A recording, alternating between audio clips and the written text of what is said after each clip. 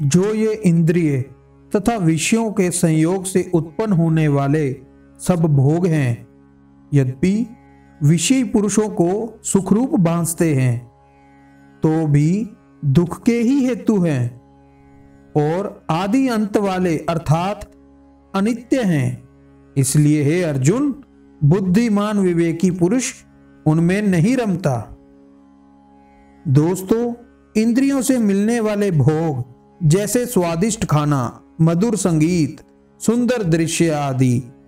ये सब विषय पुरुषों को बहुत सुखदायक लगते हैं, परंतु ये सुख कुछ समय का ही होता है और फिर बाद में मनुष्य दुखी हो जाता है।